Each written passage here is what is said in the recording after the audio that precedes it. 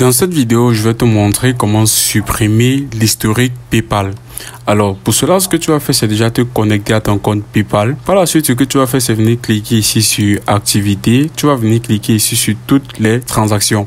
Alors, tu seras automatiquement renvoyé vers cette page ici où tu auras la possibilité de retrouver toutes les transactions que tu as eu à effectuer sur PayPal. Alors, si vous regardez attentivement sur votre page, vous allez constater qu'il n'y a pas de fonctionnalité qui nous permet de supprimer nos historiques de transactions sur PayPal. Alors, PayPal a fait cela pour des raisons de sécurité. Alors, puisqu'ils ne nous permettent de supprimer nos historiques de transactions, ce que je vais vous proposer de faire, c'est de contacter l'assistance client.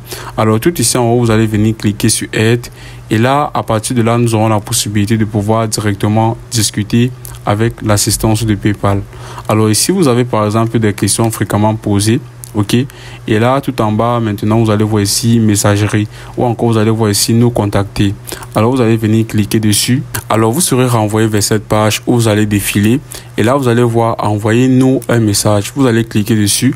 Et là vous aurez la possibilité maintenant de directement commencer ou encore lancer une discussion avec l'assistance de PayPal. Alors tout ce que vous allez faire ici c'est leur dire que vous souhaitez supprimer votre historique de transactions sur PayPal.